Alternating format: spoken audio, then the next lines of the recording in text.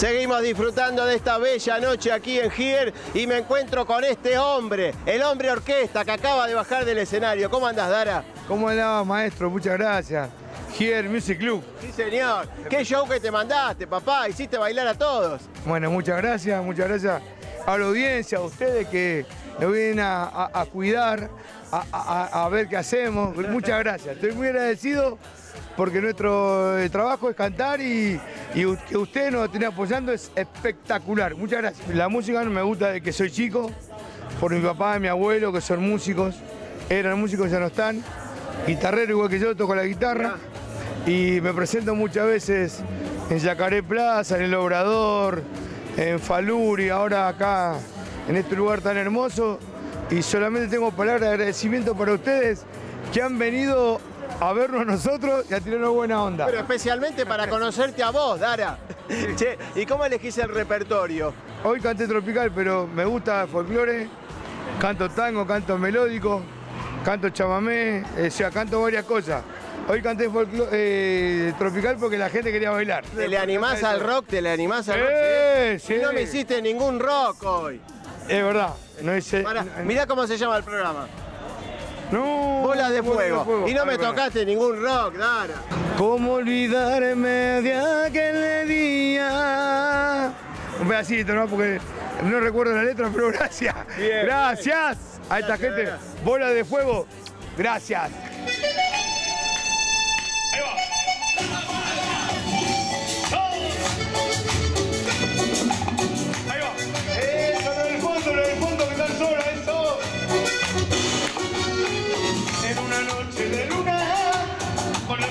esta cumbia. Con calor tu cuerpo, los siento tus besos, toda la dulzura. Por esa risa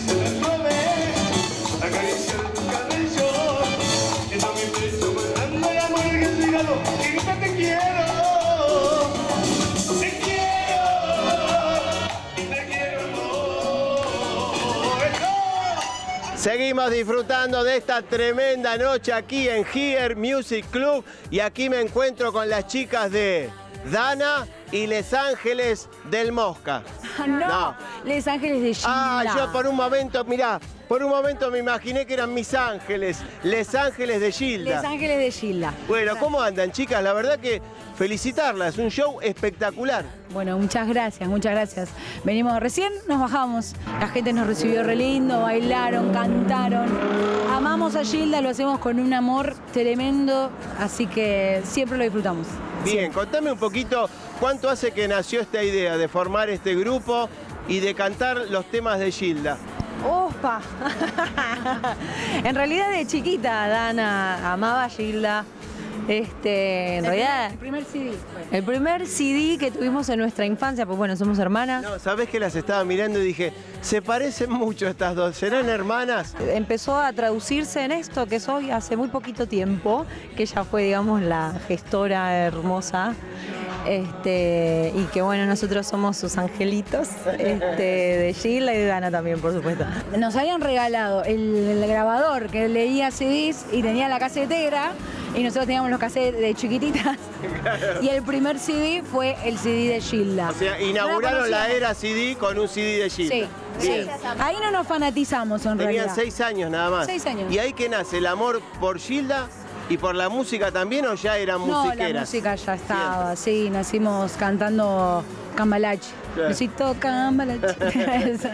Cantábamos todo el tiempo, canciones infantiles en casa, nosotras dos. Sí. Eh, eh, y el grupo, el grupo con, con Agos, con los chicos, eh, nace después de pandemia, el 2021-2022 que bueno, la idea era homenajearla, agradecerle. Ella es un ángel, para nosotros nos guió mucho en este proyecto y realmente es, es una figura trascendental socialmente, culturalmente, además de, ser abanderada de la cumbia argentina, me parece que dejó un legado en el feminismo, en la lucha femenina, en la música, en la cumbia.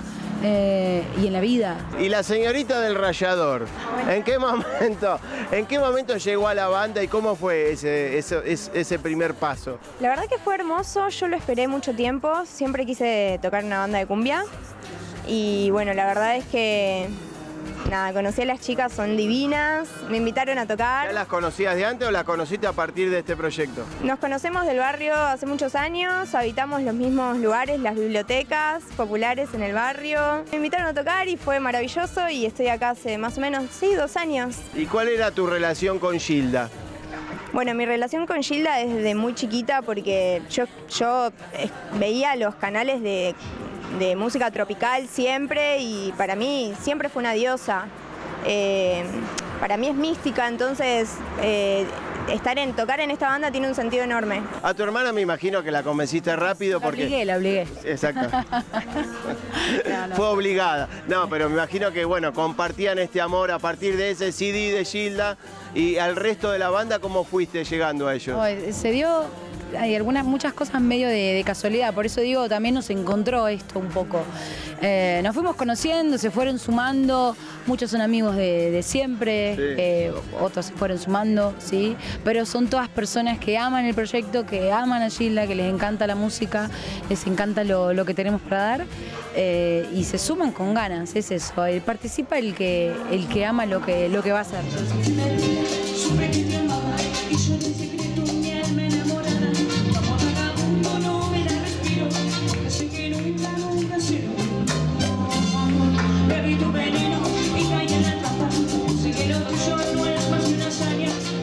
Mí tienes solo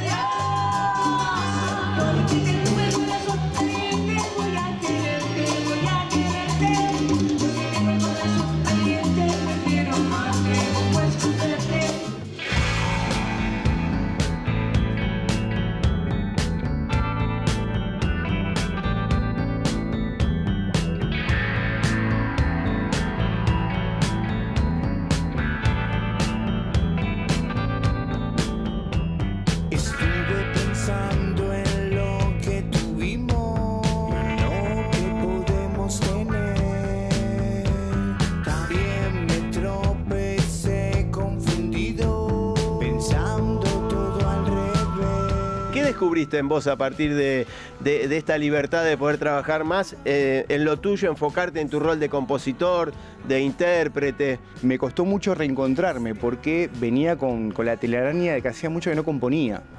Entonces tuve como que ponerme de acuerdo conmigo y decir, bueno, hacerse cargo y decir, si no sale, sentarse hasta que salga, ¿no? Es tener un poco de paciencia, pero para eso está el productor también, que ayuda un montón, gracias a Dios. A los 10 años, si no me equivoco, ¿usted ya, ya le andaba dando a la guitarra por ahí? Sí, fue lo primero que, que me llamó la atención. En realidad eh, fue por el programa de Nico, el de la tribuna, ¿te acordás? Sí, sí, Bueno, sí. había- Decime, ¿cuál, cuál, cuál? ¿Sí, sí, sí? Creo que sí. Yo veía que ¿no? se, se inspiró en Charanguito. Sí, el charanguito, te lo juro, te lo juro. Yo en ese momento era muy chico y pensaba que era una guitarra. Sí. Entonces, bueno, nada, como que dije, mamá, mamá, quiero la guitarra, quiero la guitarra. Bueno. Nene, es un charango. Este, este con la música va muerto. Me confunde la guitarra con el ¿viste? Yo dije, bueno, pero el charango como que no, no me resultó. Así que arranqué con eso, empecé a estudiar ahí con profe y ya arranqué con bandas a los 12 años, eh, porque mi escuela era muy musical. Sí.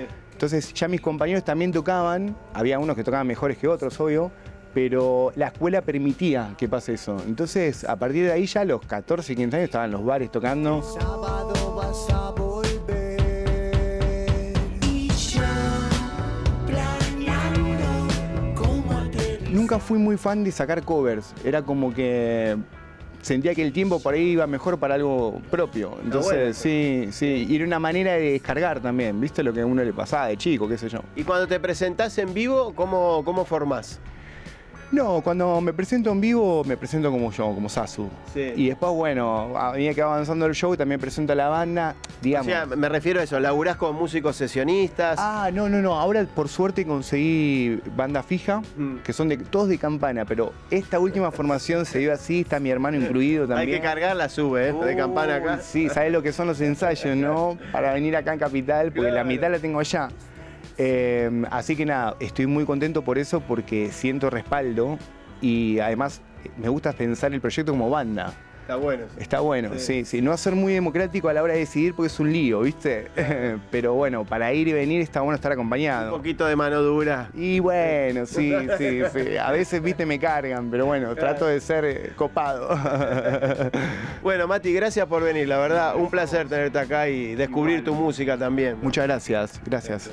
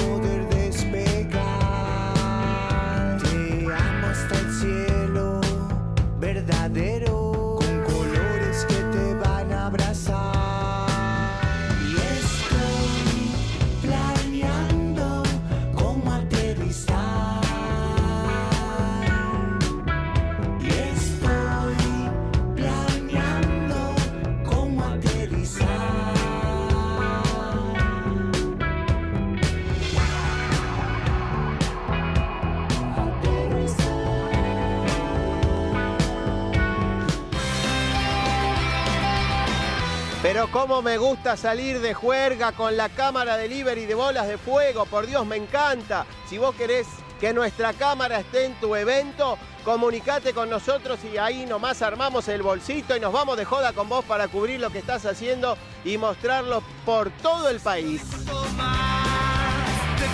Bueno, y por supuesto, si querés formar parte de las live sessions de PLB Producciones, también comunicate con PLB. Acá tenés el número. Mirá, habla con Lucas, te venís a grabar tres, cuatro temitas, lo que quieras, en un estudio profesional, por supuesto. Y después te hacemos la nota de regalo para que difundas tu material también a través de nuestra pantalla. Bueno, nos vamos. Gracias por todo y nos volveremos a encontrar dentro de siete días, solo si Dios y el frío lo permiten.